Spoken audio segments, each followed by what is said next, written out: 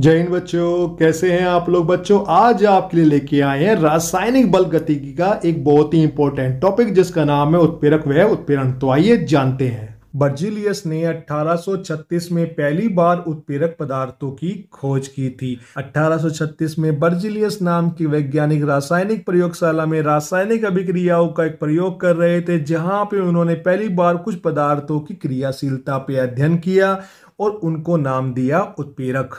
तो सर, परिभाषा क्या होगी? घबराते क्यों हैं? आइए जानते हैं ना। वे पदार्थ जो रासायनिक अभिक्रिया में उपभुक्त हुए बिना अभिक्रिया के वेग को प्रभावित करते हैं, उत्प्रेरक कहलाते हैं, तथा अभिक्रिया के वेग को प्रभावित करने का गुण उत्पीड़न कहलाता है। ध्यान रखिएगा किसी भी रासायनिक अभिक्रिया में अगर आप कोई पदार्थ मिला रहे हैं और वो पदार्थ जो है, उस रासायनिक अभिक्रिया के वेग को प्रभावित करता है उस अभिक्रिया में उपयोग हुए बिना। इसका तात्पर्य ये है कि मान लीजिए किसी अभिक्रिया में आप एक ग्राम ठोस उत्प्रेरक मिलाते हैं तो अभिक्रिया के पश्चात जब आपको उत्पाद मिलेगा तो वहाँ पर वह ठोस उत्प्रेरक एक ग्राम आपको पुनः प्राप्त हो जाएगा। ये एक मूल लक्षण भी है उत्प्रेरक का, कि ये अभिक्रिया के वेग को प्रभावित तो करते हैं, लेकिन अभिक्रियाओं में भाग नहीं लेते हैं। जी, ध्यान रखिएगा। तो वह पदार्थ उत्प्रेरक कहलाता है और ये उसका क्षमता या उसका गुण या उसकी प्रवृत्ति, अभिक्रिया के वेग को प्रभावित करने की जो क्षमता है, गुण है, सामर्थ्य है, यही कहलाता है उत्पीड़न स्पष्ट नहीं हुआ तो समझिए, समझाता हूँ। यहाँ पर मैं एक सिंपल सा एग्ज़ाम्पल लूँगा। ए और बी को हम लोग अभिकृत कराते हैं। ये हमारे अभिकारक हैं जी। आप जानते हैं रासायनिक अभिक्रिया में जो पदार्थ आप लेते हैं मिक्स करते हैं हीट करते हैं, जिनसे, जिनमें अभिक्रिया होती है, ऐसे पदार्थ कहलाते हैं अभिकारक, जो एरो के लेफ़्ट साइड में लिखे जाते हैं और एरो के राइट साइड में लिखा जाता है उत्पाद। तो मैं यहाँ पे उत्पाद ही लिखता हूँ। क्लियर हुआ? अभिकारक ए भी थे हमारा उत्पाद बन गया। तो यहाँ पर मान लीजिए ये अभिक्रिया जो है, वो चार घंटे में पूरी हो रही है। क्लियर हुआ आपको? अब इसी अभिक्रिया में अगर मैं बाहर से कोई उत्प्रेरक डाल देता हूँ। उत्प्रेरक डालने से क्या होगा? उत्पाद बनेगा। हाँ सर, अभिक्रिया तो पूर्ण होगी, लेकिन पूरा होने में जो इसका वेग है वो प्रभावित हुआ नहीं हुआ, ये हमें पता चलेगा इसके समय को देख के। तो मान लीजिए यहाँ पे इस अभिक्रिया को पूरा होने में अब दो घंटे लगते हैं। अब देखिए, पहले चार घंटे में पूरा हो रही थी, लेकिन वही अभिक्रिया अब दो घंटे में पूरा हो रही है। तो यहाँ पे वेग जो है, वेग घटा के बढ़ा। तो सर, पहले से ज़्यादा वेग हो गया है, ज़्यादा गति हो गई है अभिक्रिया की, जो चार घंटे में पूरा होती थी, वो अब मात्र दो घंटे में पूरा हो रही है। इसका मतलब है कि इस पदार्थ ने इस रासायनिक अभिक्रिया के वेग को, गति को बढ़ा दिया है। तो ध्यान रखिएगा, किसी भी रासायनिक अभिक्रिया के वेग को प्रभावित करना, वेग प्रभावित होने का मतलब है कि अभिक्रिया का वेग चाहे बढ़े या घटे सेम नहीं रहना चाहिए। अगर वो सेम रहता है तो पदार्थ उत्प्रेरक नहीं है, परंतु अगर वेग जो है, गति जो है अभिक्रिया की, वो बदल जाती है, उसे पूरा होने में समय कम लगे या ज़्यादा लगे तो ये जो आपकी घटना है, ये कहलाती है उत्प्रेरण। और वो पदार्थ जिसके कारण ऐसा हुआ है, जिसको मिलाने से ऐसा हुआ है कि अभिक्रिया का वेग घट या बढ़ रहा है, प्रभावित हो रहा है, वो पदार्थ उत्प्रेरक होगा।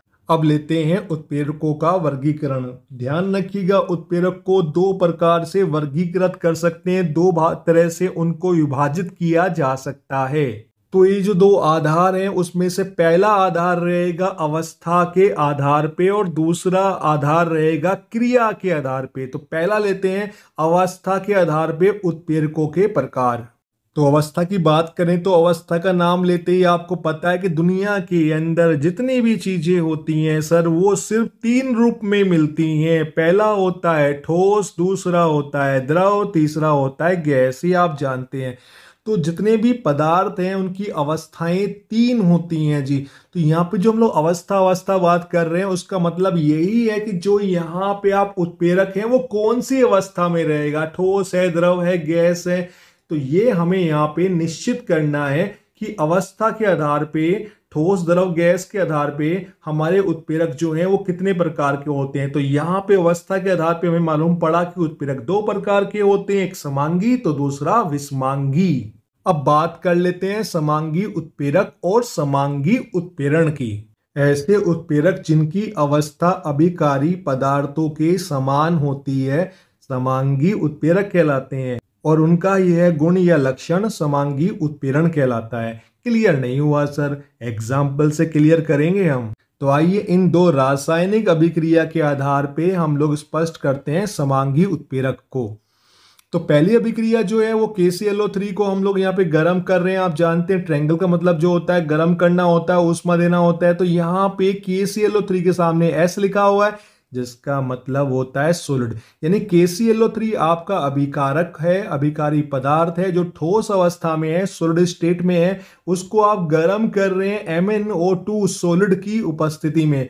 और KCl ये जो के सी एल ओ थ्री है, इसका तापीय अपघटन होता है, जिससे आपको KCl सोलिड और ओ टू गैस मिलती है। तो यहाँ पे आपको देखना है कि समांगी उत्प्रेरक है या नहीं तो उसके लिए आपको केवल लेफ़्ट साइड में देखना है कि जो आपके अभिकारी पदार्थ हैं, वो कैसे हैं। तो यहाँ पे ये ठोस है, इसकी अवस्था ठोस है, और जो आपका उत्प्रेरक है, वो भी ठोस है जी। तो क्या इन दोनों की पदार्थों की अवस्थाएँ समान है? उत्प्रेरक और अभिकारक की तो उत्तर है हाँ। दोनों की अवस्थाएँ जो हैं, वो समान है, दोनों ठोस अवस्था में है, दोनों की अवस्थाएँ समान होने की वजह से ये उत्प्रेरक कहलाएगा हमारा समांगी उत्प्रेरक। और जो यहाँ पे ये अभिक्रिया के वेग को प्रभावित कर रहा है, ये उसका प्रभाव कहलाएगा समांगी उत्पेरण क्लियर हुआ? वेग को प्रभावित करने की क्षमता क्या कहलाएगी? समांगी उत्पेरण अब दूसरे एग्ज़ाम्पल से और ज़्यादा क्लियर हो जाएगा। सल्फ़र डाइऑक्साइड गैस है प्लस ओ गैस है। NO गैस की उपस्थिति में अभिक्रिया हो रही है, जिससे मिल रहा है सल्फ़र ट्राईऑक्साइड SO3 गैस। तो यहाँ पे लेफ़्ट साइड में देखिए, जो आपके अभिकारी पदार्थ हैं, वो SO2 गैस है O2 गैस दोनों की जो अवस्थाएँ हैं, वो गैसी अवस्था है, और NO जो आपने बाहर से मिलाया है, ये भी गैसी अवस्था में है। तो कुल मिला के आपके अभिकारी पदार्थ और NO जो उत्प्रेरक है, वो भी गैसी अवस्था में है। तो उत्प्रेरक भी गैसी अवस्था में, अभिकारक भी गैसी अवस्था में, दोनों की अवस्थाएँ क्या हुई? समान हुई। तो NO यहाँ पे समांगी उत्प्रेरक है और जो ये इस अभिक्रिया के वेग को प्रभावित कर रहा है, गति को प्रभावित कर रहा है, यह क्षमता या लक्षण कहलाएगी समांगी उत्प्रेरण। क्लियर हुआ आपको? बैलेंस नहीं है तो भाई बैलेंस कर लीजिएगा टेंशन का लेते हैं? तो आइए देखते हैं बैलेंस कैसे होगा तो यहाँ पे ट्वाइस कर दीजिएगा, ठीक है जी? और यहाँ पे ट्वाइस कर दीजिएगा, देखिए बैलेंस हुआ कि नहीं हुआ? टू थ्री जा सिक्स और टू टू जा फोर, टू सिक्स। हाँ जी, बैलेंस है, चेक कर लीजिएगा, दिक्कत हो बताइएगा। आगे बढ़े, चलिए फिर अब लेते हैं, दूसरा प्रकार बचा है, समांगी तो हो गया है विस्मांगी उत्पेरक भी बचा है। तो आइए उसको भी लेते हैं। ऐसा उत्प्रेरक जिसकी अवस्था अभिकारी पदार्थों के समान नहीं होती है विस्मांग उत्प्रेरक कहलाता है और उसका यह गुण विस्मांगी उत्पीड़न कहलाता है। जी, ये उदाहरण से स्पष्ट करेंगे, तब आपको जाके क्लियर होगा। तो यहाँ पे दो रासायनिक अभिक्रियाएँ आपको दिखाई दे रही हैं, दोनों को ध्यान से देखिए। पहली अभिक्रिया में जो है, वो N2 गैस है, हाइड्रोजन गैस के साथ अभिक्रिया कर रही है, दोनों अभिकारी पदार्थ हैं। यहाँ पे इस अभिक्रिया में हमने आयरन एफ़ पदार्थ मिलाया है एफ़ उत्प्रेरक मिलाया है, जिससे हमको अमोनिया गैस मिलती है। ये हमारा रासायनिक अभिक्रिया हो रही है जी। तो यहाँ पे देखिए लेफ़्ट साइड में जो N2 और H2 आपके अभिकारी पदार्थ हैं, ये गैसीय अवस्था में है जी। और जो आपने उत्प्रेरक यहाँ पे लिया है एफ़ वो ठोस अवस्था में है। तो क्या अभिकारी पदार्थ और आपके उत्प्रेरक की अवस्थाएँ समान है? तो उत्तर है नहीं। सर, अभिकारी तो गैसीय है, उत्प्रेरक हमारा ठोस है, दोनों की अवस्थाएँ भिन्न है। भिन्न है तो सर भिन्न को क्या बोलते हैं? विषम। तो यहाँ पे दो, ये जो उत्प्रेरक आपने यूज़ किया है, ये विस्मांगी उत्पेरक है और जो यहाँ पे इसका गुण है अभिक्रिया को प्रभावित करने का, वो कहलाएगा विस्मांगी उत्प्रेरण। अगला एग्ज़ाम्पल देखिए, सल्फ़र डाइऑक्साइड गैस है। O2 गैस के साथ अभिक्रिया करके देता है आपको V2O5 की उपस्थिति में SO3 गैस। तो यहाँ पे V2O5 वेनेडियम पेंटोक्साइड ठोस अवस्था वाला उत्प्रेरक है। उत्प्रेरक की जो अवस्था है वो ठोस है और जो आपके अभिकारी पदार्थ हैं, वो गैसी अवस्था में है। तो आपके अभिकारक तो गैसी अवस्था में है। आपका उत्प्रेरक जो है वो ठोस अवस्था में है। दोनों की अवस्थाएँ क्या है? समान नहीं है भिन्न भिन्न है, असमान है। तो इसलिए ये यहाँ पे उत्प्रेरक जो है, ये विस्मांगी उत्प्रेरक होगा। और जिसकी, और जिस क्षमता की वजह से, जिस गुण की वजह से ये अभिक्रिया के वेग को प्रभावित कर पा रहा है, वह गुण कहलाएगा विस्मांगी उत्प्रेरण। स्पष्ट हुआ जी? तो क्रियाशीलता के आधार पे जानते हैं उत्प्रेरक के प्रकार। किसी भी रासायनिक अभिक्रिया में जो आपने उत्प्रेरक लिया है, उसकी वो कैसे क्रिया कर रहा है, उस आधार पर वो दो प्रकार के होते हैं। एक होता है हमारा धनात्मक उत्प्रेरक, जबकि दूसरा होता है ऋणात्मक उत्प्रेरक। तो पहला लेंगे धनात्मक उत्प्रेरक। ऐसे उत्प्रेरक जो रासायनिक अभिक्रिया के वेग को बढ़ाते हैं, धनात्मक उत्प्रेरक कहलाते हैं, और उनका यह गुण धनात्मक उत्प्रेरण कहलाता है। आइए जी यहाँ पे पहले तो ये समझिए धनात्मक का मतलब क्या होता है? तो आप जानते हैं धनात्मक का मतलब होता है लाभ। तो यहाँ पे कोई कंपनी है, मान लीजिए वहाँ पर O2 गैस बनाई जाती है। ये वहाँ पर प्रयोग होने वाली रासायनिक अभिक्रिया आपके सामने लिखी हुई है।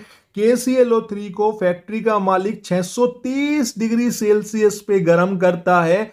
तब जाके के सी एल ओ थ्री विघटित होता है, उसमें विघटन होके देता है KCl और O2 गैस क्लियर है जी? बैलेंस कर लीजिएगा, बैलेंस नहीं है। अब यहाँ पे एक सवाल उठता है कि उसी अभिक्रिया में एक साइंटिस्ट ने जाके एम एन ओ टू पदार्थ को मिला दिया। ठीक है, उसके बाद क्या हुआ? जो अभिक्रिया 630 डिग्री सेल्सियस पे हो रही थी, वो मात्र 240 डिग्री सेल्सियस पे हो जाएगी। क्लियर हुआ तो सर क्या फ़र्क पड़ा? अरे भाई, आप देखो 630 डिग्री सेल्सियस है। इस इस टेम्परेचर को मेंटेन करने में, यहाँ तक टेम्परेचर लाने में बहुत समय और ऊर्जा बेकार होती है, समय लगता है। जो चीज़ें ज़्यादा टाइम लेती हैं, है ना जी? और जिसमें ज़्यादा पैसा खर्च होता है, वो प्रोसेस वो प्रक्रम, वो योजनाएँ फैक्ट्री के लिए किसी काम की नहीं होती है। एक अच्छा योजना, एक अच्छा काम वो होता है जिसमें समय और पैसा दोनों की बचत हो। तो यहाँ पे देखिए 240 पर ही अभिक्रिया हो रही है। तो आप अनुमान लगाइए कि 630 को होने में माँ अगर चार घंटे लगते हैं तो यहाँ पे दो घंटे से भी कम समय में ये अभिक्रिया हो गई है। तो यहाँ पे क्या हुआ है? KClO3 के विघटन की दर को बढ़ा दिया है MnO2 ने। तो अभिक्रिया के वेग को बढ़ाया है, विघटन की दर को बढ़ाया है। इसलिए MnO2 उत्प्रेरक जो है, वो धनात्मक उत्प्रेरक है और जिस वजह से, जिस गुण की वजह से यह अभिक्रिया बढ़ी है, वह गुण या लक्षण परवर्ती धनात्मक उत्प्रेरण कहलाएगा। स्पष्ट हुआ आपको? चलिए बैलेंस भी कर देता हूँ। कुछ लोग परेशान रहेंगे बैलेंस नहीं हुआ बैलेंस नहीं हुआ तो बैलेंस भी कर देते हैं जी। ठीक है जी? देख लीजिएगा, बताइएगा हुआ कि नहीं हुआ चेक तो आप ही लोग करेंगे। चलिए आगे बढ़ते हैं। इसी धनात्मक उत्प्रेरक के क्रम में अगला एग्ज़ाम्पल जो है वो H2O2 का है। H2O2 का अपघटन पेटी प्लेटिनम की उपस्थिति में तीव्र गति से होता है। बच्चों H2O2 जो होता है हाइड्रोजन प्रोक्साइड वो हमारा विरंजक होता है। इस विरंजक के और भी बहुत सारे प्रयोग हैं कि विरंजन के अलावा ये रॉकेट फ्यूल में भी यूज़ होता है जी, है ना जी? और ये जीवाणु नाशक भी होता है जी, ये तो आप जानते ही होंगे, नहीं जानते तो जान लीजिए। रॉकेट में फ्यूल में यूज़ होता है एस क्योंकि ये बहुत तेज़ी से ऑक्सीजन को प्रोवाइड करता है ऑक्सीजन को देता है, जिससे ईंधन जो है वो बहुत तेज़ी से जलता है, क्योंकि रॉकेट को ऊंचाई पे जाने के लिए बहुत ज़्यादा ऊर्जा की आवश्यकता पड़ती है कम समय में। तो कम समय में ऊर्जा तभी मिलेगी जब वहाँ पे ईंधन जो है वो तेज़ी से जलने वाला होगा। अर्थात बहुत ज़्यादा सरलता से ऑक्सीजन का मिलना आवश्यक होता है। इसलिए वहाँ पे H2O2 लेते हैं, प्लेटिनम की उपस्थिति में अभिक्रिया कराते हैं, जिससे बहुत जल्दी H2O2 टूट कर आपको जल और ऑक्सीजन गैस देता है। तो यहाँ पे स्पष्ट हुआ प्लेटिनम में क्या किया है? प्लेटिनम ने H2O2 के अपघटन की दर को, वेग को बढ़ा दिया है। तो बताइए, जब बढ़ा रहा है, वेग को बढ़ा रहा है, गति को बढ़ा रहा है अभिक्रिया की तो ये पदार्थ, ये उत्प्रेरक क्या कहलाएगा? धनात्मक उत्प्रेरक। और अभिक्रिया के वेग को बढ़ाने का जो गुण है, लक्षण है जी, वो क्या कहलाएगा? धनात्मक उत्प्रेरण।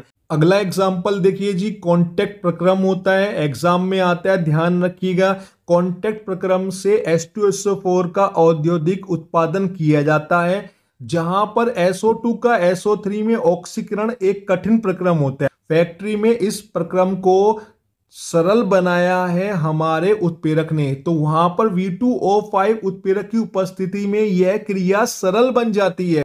तो यहाँ पे देखिए हो क्या रहा है कि जो अभिक्रिया जो आपकी कठिन थी, वो सरल हो गई है। कैसे सरल हुई है? V2O5 उत्प्रेरक की उपस्थिति में यह अभिक्रिया बहुत जल्दी और सरलता से आगे बढ़ती है SO3 देती है। तो यहाँ पर V2O5 ने अभिक्रिया के वेग को, दर को, गति को बढ़ाया है। तो ये V2O5 उत्प्रेरक जो है, ये धनात्मक उत्प्रेरक का उदाहरण होगा, धनात्मक उत्प्रेरक कहलाएगा। और यहाँ पर अभिक्रिया के वेग को बढ़ाने की जो उसकी क्षमता है, वो कहलाएगी धनात्मक उत्प्रेरक। दूसरा और लास्ट है जी, हमारा क्रिया के आधार पे उत्प्रेरक का प्रकार है, जिसका नाम है ऋणात्मक उत्प्रेरक। देखिए, ऋणात्मक का मतलब क्या होता है? हानि, है ना? ध्यान रखिएगा। तो सर यहाँ पे उत्प्रेरक कैसे हानि करेगा? सर, रासायनिक अभिक्रिया के वेग को अगर बढ़ा रहा है तो धनात्मक होगा, घटा रहा है तो क्या होगा? ऋणात्मक होगा। तो आइए परिभाषा ले लेते हैं। ऐसे उत्प्रेरक जो रासायनिक अभिक्रिया के वेग को घटा देते हैं, ऋणात्मक उत्प्रेरक कहलाते हैं और उनका यह गुण, लक्षण ऋणात्मक उत्प्रेरण कहलाता है। तो दो अभिक्रिया यहाँ पे लिखी हुई है, इनको देखिए। H2O2 बताया था आपको, हाइड्रोजन प्रोक्साइड जो होता है, ये हमारा विरंजक गुण वाला एक द्रव होता है, जल के समान दिखता है, प्रतीत होता है। अब इसका एक लक्षण ये होता है कि ये बोतल में आता है बच्चों और बोतल के अंदर जो होता है ये सील होता है। अब वहाँ पर होता क्या है कि, कि ये कॉस्मेटिक वगैरह में जो आपके जहाँ पे हेयर ड्रेसर होते हैं भाई नाई जो होते हैं आजकल उनको hair dresser salon hair salon बोलते हैं। जी हाँ जमाना बदल गया है ना। तो वहाँ पे एस टू ओ टू जो होता है वो मेकअप के काम आता है। जी सिंपल सी भाषा में बोलूँ तो लेकिन होता क्या है कि ये अगर रखा हुआ हो तो ये लगभग एक से डेढ़ महीने के बाद ये अपघटित हो जाता है। और जब कोई पुरानी बोतल को खोलेगा तो वहाँ पे उसका मेकअप बिगड़ने के चांस है। क्यों बिगड़ने के चांस है? क्योंकि जो बोतल उसने खोली है पुरानी हो चुकी है और एस टू ओ टू वहाँ पे व्यक्तित हो चुका है एस टू ओ और ओ टू में। तो ओ टू तो बाहर निकल जाएगी, बचेगा क्या बोतल में? जल। तो वो एस टू ओ टू नहीं, वहाँ पे उसको जल मिलेगा। तो यहाँ पे हो क्या रहा है, सर? यहाँ पर अभिक्रिया का विघटन हो रहा है। तो ऋणात्मक उत्प्रेरक क्या होगा? अगर इसके विघटन की दर को कम कर दें, विघटन की दर का मतलब क्या होगा? कि एस टू ओ टू कम टूटेगा। कम टूटेगा तो एस टू और O2 कम बनेगा। तो अधिक मात्रा में कौन रहेगा? H2O2 तो यहाँ पर एक पदार्थ होता है, एक अमल होता है, जिसका नाम है फास्फोरिक अमल H3PO4 इसकी थोड़ी सी मात्रा मिलाते हैं जी, जो फैक्ट्री वाले होते हैं, जो उत्पादक होते हैं, वो थोड़ी सी मात्रा में यहाँ पे फास्फोरिक अमल मिला देते हैं, जिससे इसकी विघटन की दर जो है काफ़ी मंद हो जाती है। विघटन की दर यानी कि अभिक्रिया, विघटन का जो वेग है, विघटन की जो गति है, वो कम हो जाती है। और कम हो गई तो काम बन गया। क्लियर है? तो आप तीन महीने बाद, चार महीने बाद भी अगर बोतल को खोलेंगे तो वहाँ पे आपको एस टू ओ टू ही मिलेगा। चलें, अगला एग्जांपल लेते हैं। सर, ये हमारा क्लोरोफोम है C S C L three chloroform जो होता है, इसके अंदर एक खास गुण होता है जी, बहुत सारे गुण हैं, लेकिन एक गुण होता है मूर्छित करने वाला। मूर्छा कारक पदार्थ होता है ये। इसको सूंघ ले तो आपने देखा पुरानी पिक्चरों में जो होता था, एक रुमाल लेके आता था विलेन और सूंघाता था किसी को तो वो सूंघते ही मूर्छित हो जाता था। याद आया? क्लोरोफॉर्म का बहुत समय पहले ऑपरेशन वगैरह में भी यूज़ करते थे, लेकिन इसकी दिक्कत ये आती है कि क्लोरोफॉर्म जब पुरानी बोतल हो जाती है तो वो ऑक्सीजन के साथ क्रिया करके C O C L two S two O और सी एल टू बनाती है। Sir C O C L two जो होता है, ये फास्ट जीन होती है और फास्ट जीन नहीं, सर जी का जंजाल होता है, जहरीली गैस है ये, और ये ही कराती है आपकी मृत्यु का कारण बनती है। जब भी किसी पुरानी बोतल से मरीजों को सुंगाया तो वहाँ पे क्या मिला? क्लोरोफॉर्म नहीं मिली फोसजीन मिली क्योंकि वो तो अभिक्रिया कर चुकी थी। तो इससे मृत्यु हुई, फिर इसको बंद कर दिया। तो अगर क्या करें सर, ये तो हर बार होगा। हाँ भाई, हर बार होगा। तो हमें क्या करना चाहिए? हमें इसके, यहाँ पे ये जो ऑक्सीजन के साथ क्रिया कर रहा है क्लोरोफॉर्म ये रोकना पड़ेगा। सर, कैसे रोकें? अरे, बड़ा सरल है। एग्ज़ाम में पूछता भी है। तो देखो मैंने क्या लिखा two percent C two H five O H यानी कि बाय वॉल्यूम आयतन अनुसार यहाँ पे आपको कुल आयतन का क्लोरोफॉर्म के कुल आयतन का दो परसेंट अगर आप इथाइल एल्कोहल मिला देते हैं तो फोर्सजीन ये जो अभिक्रिया हो रही है, इसका अभिक्रिया का वेग, इसकी दर जो है वो घट जाएगी। घटने से ये होगा फोर्सजीन कम बनेगी और फोर्सजीन कम मिलेगी तो एक्सीडेंट होने के, मृत्यु होने के जो चांस रहेंगे, अवसर रहेंगे, वो कम हो जाएगा। तो फोर्स जीन अगर बनने से रोकना है तो वहाँ पे आपको ऋणात्मक उत्प्रेरक इथाइल एल्कोहल की थोड़ी सी मात्रा डालनी पड़ेगी। तो यहाँ पे आप देखिए S three P O four ने एस टू ओ टू के विक्टन को कम किया। क्या कहलाएगा ऋणात्मक उत्प्रेरक? क्लियर है? उसका ये गुण क्या कहलाएगा? ऋणात्मक उत्प्रेरण। यहाँ पे क्लोरोफॉर्म से फोर्सिन बनने की क्रिया को, अभिक्रिया को मंद किया है। किसने मंद किया है? C two H five O H ने इथाइल एल्कोहल ने। तो ये पदार्थ कैसा है? ऋणात्मक उत्प्रेरक, जो इसका ये लक्षण है, गुण है, क्या कहलाएगा? ये कहलाएगा हमारा ऋणात्मक उत्प्रेरण।